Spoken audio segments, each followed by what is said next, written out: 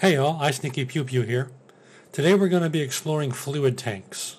Now, when it comes to using these as fuel tanks, you might be thinking, I already know how to add a fuel tank. Uh, you just connect a pipe to it and connect it to your engine. And you're not wrong, but there are variables at play here that you might not have thought of or noticed. So I'm going to go over them, what they could mean, and how these might affect the way you build. Let's kick this off. Okay, so what we have here is we have a single tank, 31.25, right? A dual tank. You can see the values here aren't the same. We have 26.33, 27.11. The difference of those being 22.20 is what you add when you add a tank to the bottom. That's that's the extra capacity that you're adding. You can see 31 times 2 would be 62.5, right? But it's not. It's 53. So you only get 22.20 every time you daisy chain a tank into like that. Well, for the small tanks at least. I wanted to demonstrate with this experiment for you what fuel does in this game as far as fluid dynamics um, and what, what the developers have, have, built into the game. Now, this isn't really something that's make or break, but uh, it's definitely something to be cognizant of. So just watch what happens. We have 26.72 on both tanks. If we just input a value, of 1 and we cant that over, watch what happens. The 27 fills up, the 25 drains. So the left tank that's on top here, it drains into the bottom tank. Now, I'm not sure if this is something that's really relevant. You know, if you have a really wide vehicle and you have a tank all the way to the left and a tank all the way to right, you know, say like you had a plane or something with a wide wingspan, we might ask ourselves, well, will all the fluid from the left tank drain into the right tank when I when I turn? Um, and for that, let's make an experiment. Okay, so I've created this experiment, and it's got both fuel tanks, one and two, up there and up there, and they're just strung together with a straight pipe that goes from one end to the other. We're going to test if all the fuel drains from fuel 1 into fuel 2.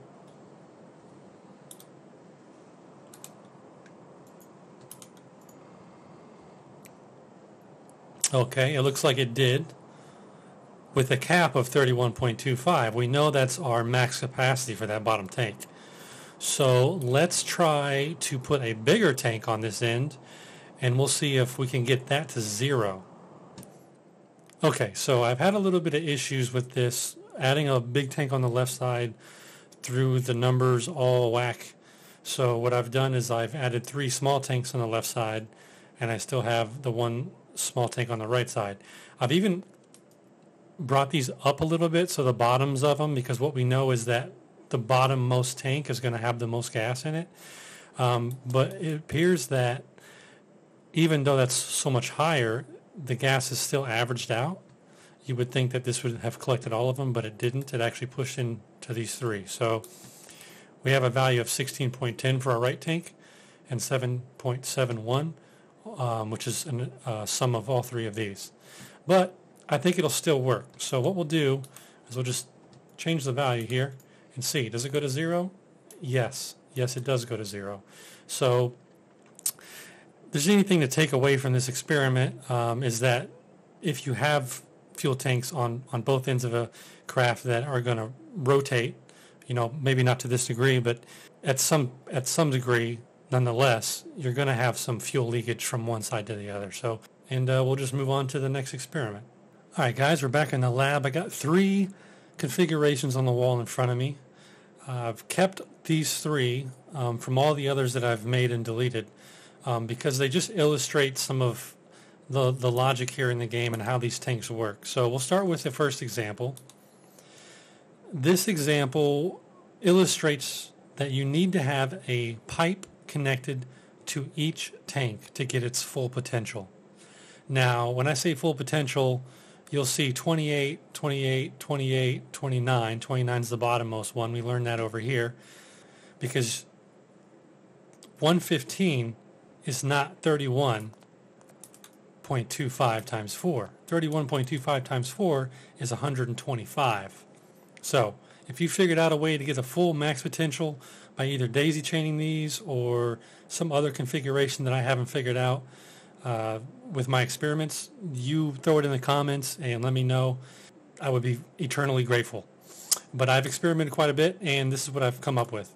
All right, for example number two, we have daisy chained two on each side, and you'll see that the outermost tanks have the most fluid. This is a bit peculiar because you would think that, oh, they're just, they're all level, they're all going to even out. Well, that's not the case.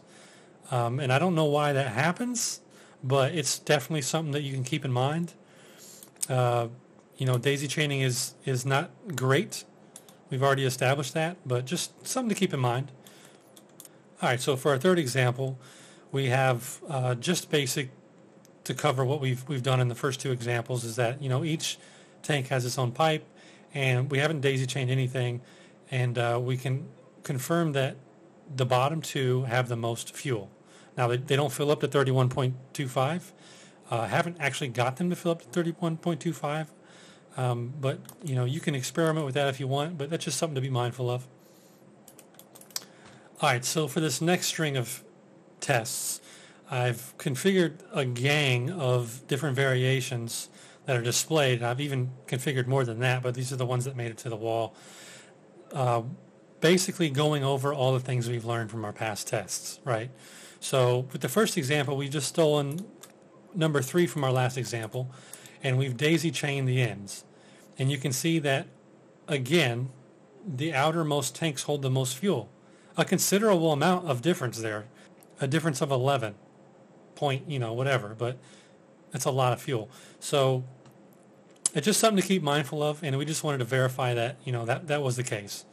For our next experiment, you'll see the values are the exact same for fuel 2, 204.32. Uh, we just tried to tip it on its side to see if uh, we could get any variation on which tank holds how much. Again, though, you'll see it's the two most outer tanks that hold the most. I don't know how that works. Um, I'm sure it's something with uh, the programming of the tanks, but uh, uh, just keep that in mind. It's something to be aware of. All right, moving on to our third example, we have the best overall outcome so far, 240, right? What I've done here is we've made sure that every pipe or every tank has its own pipe and there's no daisy chaining, but they are right next to each other. I wanted to confirm that that wasn't a deal, that it, it looked how it should. So it does, all the bottom tanks here have 31.25, which is great. That's the first time we've gotten that so far. And the top tanks have dropped to 28.97 roughly. So this is probably the best configuration I've gotten so far, but I wanted to try a few things extra just to be sure that I fully understood everything. So I went on to example number four. All right, in this example, we have tried daisy chaining every single tank all the way from one end to the other. You got one pipe that goes in and zero pipes in between. So we know that obviously we're going to have diminishing gains, right? But it's it's crazy because it's done this extreme again. 31.57, 31.25. The first tank gets all the full value, 31.25 allowable, and the rest of them kind of just go to 20, with the last one being, I don't even know. I have no idea what that is. Um, so yeah, it's it's it's kind of strange, but we know, already know that daisy chaining them is not a great idea. But we've just we've just verified that yeah, that's a bad idea. So on example five, you can see we're having some issues. Now I tried to delete some tanks and some pipes and stuff, and remake them and see if I could resolve that. I've even just deleted the microcontroller that I have that adds these up and also the microcontroller that I have that pushes out to the display and recreated them and it just seems to keep doing the same thing. I think it's probably in the programming then. Um, so we've given each tank its own pipe, right? But we've spread them out one, one pipe at a time just to be sure. Um, and you can see the same thing is happening here. It's trying to even out, it looks like, but it just cannot if we compare the results from, from this guy, where 31's at the end, 30's at the end, and the 20s are in the middle, we don't get the same thing over here. We get a fight here to average all of these. So it looks like it's just going crazy, you know. It might be a little less efficient than 3. Uh, so we're moving on. Moving on to number 6. So number six, you can see we have the lowest of the eight configuration output. And because we've daisy chained these again, and uh, this is just to confirm, yeah, even with this one, we've gone the same values, and I wanted to see if it would go crazy again. It didn't. But look at the difference, 160, right? Even though these top tanks aren't actually tied in to the, the sensor that's going to read and, and, and add these up, I thought that maybe daisy chaining them would still, you know, it would fill it up, and then we'd have a 31.25 value on every single one, right? Or at least higher than what we had. But the opposite has happened. We have 20 on all of them. Even the last one, even the first one, 20. And the ones on top are the most extreme, like we said before. We're the farthest away from the pipe. So of course they're going to take 31.25 on all of them. Now you could probably cheat this in some way to put tanks that you don't use on a bar that you don't use and then have the values from all these other tanks fed into your actual engine with the 31.25. Now that'd be one way to get the full potential. But the problem being you have all this extra space that you just taken up for no reason. Why not just use a bigger tank? and have you know the diminishing gains because I'm sure it would add up uh, to be a better choice. So that's something to think about. All right, guys. So moving on to the next, we've just taken the same design from six and we flipped it on its head, just to kind of see what would happen. Um, the bottommost or the topmost here, 30, 31.25. The same thing has happened here. It's the bottommost. It doesn't matter the orientation. It's always going to be the farthest from the pipe. So just this is another example of that same rule there that we've uh, we've established. All right, that's about it. I hope you learned a little bit about how the tanks work in this game, and this helps you implement them in your creations. Don't forget to like, subscribe, and comment, and we'll see you next time.